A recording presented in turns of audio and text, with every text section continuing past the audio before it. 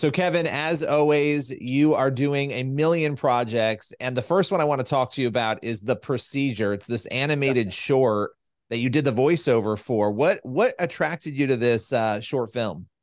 Well, I do a lot of pro life speaking. I mean, initially, uh, when I started, I put my book out about 11 years ago, True Strength, and initially became sort of a, a medical book in a way. I mean, it was semi autobiographical, but it dealt with uh, the strokes I suffered at the end of season five on Hercules with an aneurysm I had up here in my shoulder. And uh, uh, reading the book, people tell I was conservative. People tell I was a Christian. So they said, "Oh, are you pro-life?" I said, "Very much so." Then that sort of took over in Christian education. So that those things have become bigger than just talking to the medical medical community now. And uh, it's a road I never thought I'd be going down. It's a door God opened to me that uh, has been a blessing in more ways than one.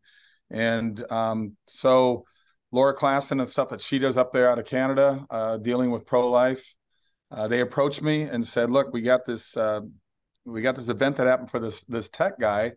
He was a you know one of these uh, sonogram guys, and um, they sent me a story, and I read his story, and it made me cry reading it. What he had to be forced to witness because he didn't want to be part of this. He the other guy that usually works with his abortion doctor uh, was late or something, and so he came into work, and I said, "Hey, you got to go see Doctor So and So."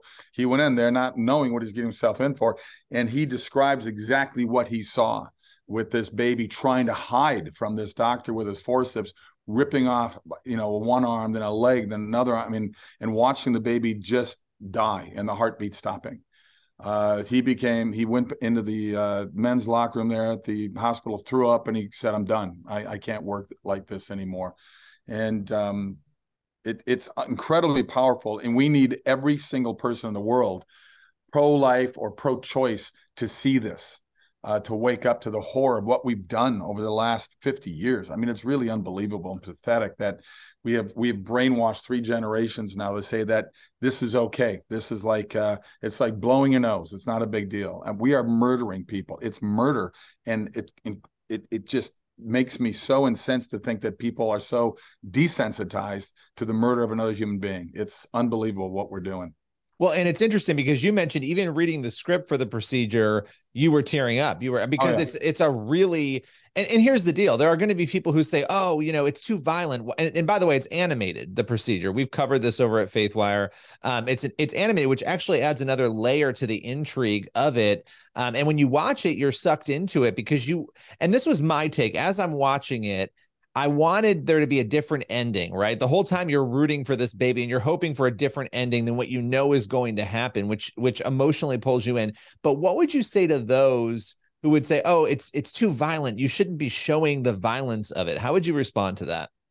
Um, then I laugh at the hypocrisy of them because the same thing happened with Abby Johnson's movie Unplanned, where they slapped an R rating on it because the abortion is so horrific. You're going, okay, we're trying to prove a point here of what you guys are saying is okay to do to another human being.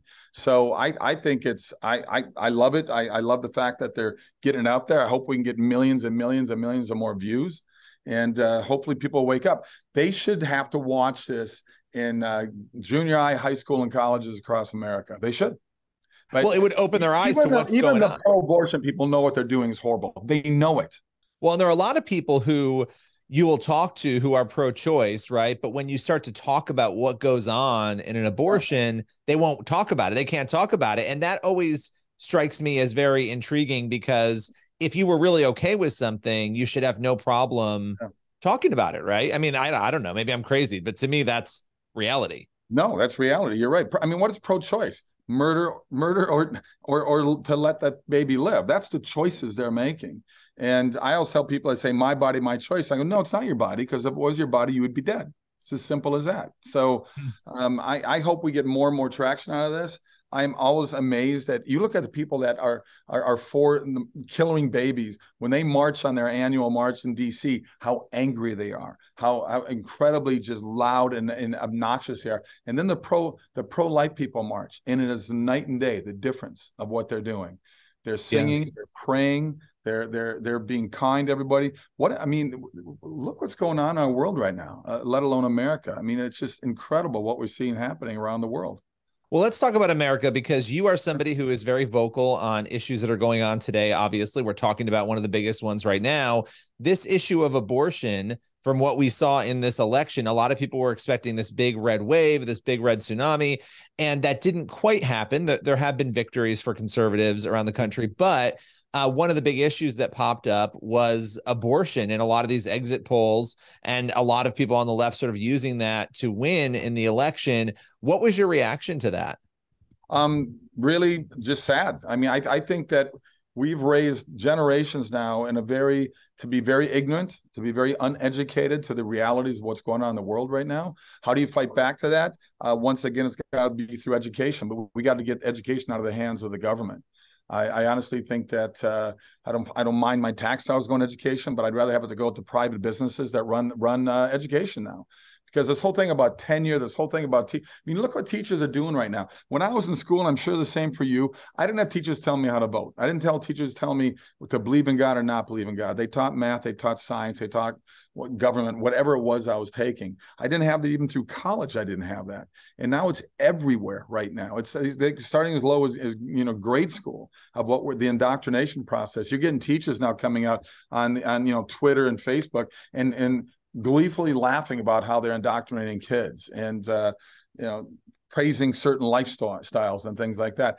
I it's just it's just amazing to me how far this country's gone down and people actually believe like socialism and communism is a better way to go. Something like 64% of 18 to 29 year olds voted majority blue in every single state. Yeah. Yeah. I mean, what does that, that say? What does that say? There's a lot of work to be done. Um, they need to go to Venezuela. Side. I want them all to take a, a year in Venezuela or even Russia for that matter, or North Korea or Cuba. I keep telling people nobody's taking boats from Key West to Cuba. Have you guys ever paid attention to that? Nobody's rushing the border from America to get down into Mexico. There are reasons for that so final final question for you because you you and your wife Sam Sorbo um, you guys do a lot of amazing stuff, but you're actually doing this really cool trip to Israel. Can you talk a little bit about that? This is our second go around. We did it in 2019. We cap it at 60 people. We're doing it again this year. I think we've got 35 signed up. It's not a cheap trip, of course. We're going to Israel is not cheap, and but we have the three best guides you can possibly get. We got them back again this time. I was just in Israel to do another documentary this past May. Um, it, it, deals with the uh, through geo, uh, archaeological digs, the search for the Ark of the Covenant, and also dealing with the uh, tabernacle. It was unbelievable. It's going to come out early next year. So I met a couple of extra locations we're going to go to this time around. So please go to sorboisraeltrip.com. That's sorboisraeltrip.com. Sign up. Trust, trust me, it's amazing. We're going to walk in the footsteps of Jesus, and people will absolutely love the history that they're going to learn of that area and people get to hang out with you guys, which is pretty cool. Exactly. So there you go. We put, on, we put on good stuff. Oh yeah, we'll definitely be there. We're taking the whole family again, and uh, like I said, we, we, we made very good friends with the people I went with last time. We keep in touch with them. In fact, one of the ladies was at our house here just a couple days ago, but um, it's it's an amazing trip. So you can also get more information on sorbostudios.com for a lot of other things coming down the pipeline. And I do have three movies coming out. Let me give a quick plug for them. They're coming Go for it. Year, January, February. We got Miracle in East Texas that I directed. We've got Left Behind, Rise of the Antichrist. I directed that one. And I'm in the Reagan movie with Dennis Quaid. I play his uh, he's a president. I play his pastor. That's amazing. Well, I'm looking forward to all those and also having you back to talk about that documentary when it hits. Cool. That's gonna be Love cool. It. All right. Love thanks it. so much. All right. Appreciate it.